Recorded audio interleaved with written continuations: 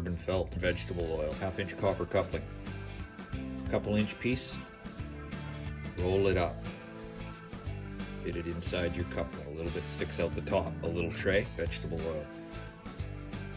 The amazing thing about carbon felt, it will wick a heavier oil like vegetable oil, but it's not flammable. How could that be? After five minutes, go ahead and light that wick.